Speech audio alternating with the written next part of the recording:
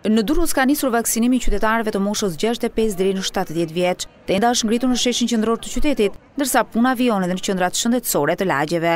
Janë mjekët e lagjeve ata që kanë njoftuar qytetarët që të paraqiten për t'u vaksinuar. 65, po kam sëmundje kronike, lagja 4. Po më njoftoi doktoresha mjekja e lagjës, mjekja ime. Po s'e kam problem, vaksina kineze më tha. Patët probleme? Jo, me asnjë gjë, pari shumë mirë. Ate po, po vaksinën që bërë, kinezin, gjithë kinezin ka bërë. Gjithë kinezin, Po gjithë kinezin. Bile, bile, nga që kam qenë kada e në tinë, preferoja kinezen, po mora kinezen.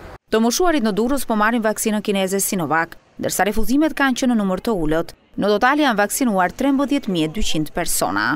Procesi i vaksinimit të popullatës po vijon me ritme të shpejta edhe në qytetin e Vlorës, ku sot janë kryer gjashtëqind doza te grupmoshat gjashtëdhjetë e pesë deri në shtatëdhjetë vjeç. Procesi i vaksinimit është vendosur në një çadër përballë stadiumit Flamurtari, pasi Pallati i Sportit do të jetë ambient për KZAZ-në. Jemi të kënaqur nga shërbimi, ishalla na mbron Zoti.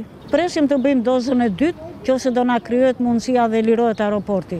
Jemi në dorën e pesëdhjetë vetave që janë atje në protestë.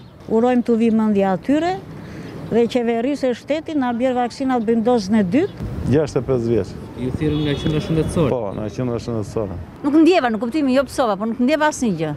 Ishalla ta kaloj mirë.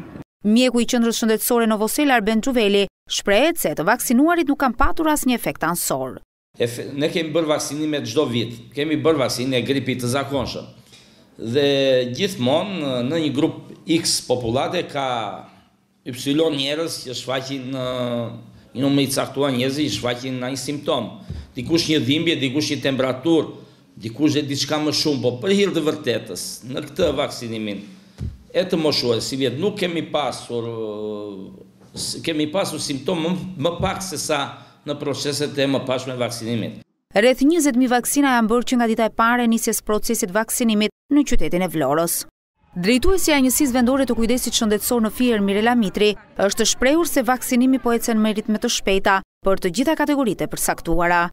Që nga dita e parë e vaksinimit deri dje, numri total i dozave të kryera është 16.305. Popullata 12.879 doza dhe shtëpia e pleqve dhe stafi i tyre 117 doza.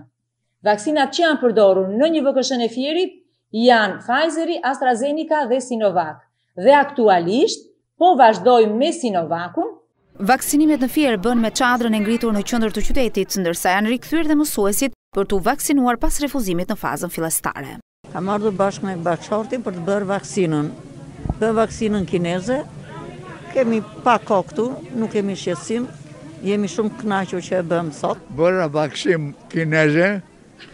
Në bëshoj dorojmë Në Shkodër janë kryer deri më tani katërmbëdhjetë mijë e treqind e gjashtë vaksinime, ndërsa ditën e sotme vijon procesi i vaksinimit të moshës gjashtëdhjetë e pesë vjeç për punonjësit e mediave dhe efektivët e policisë.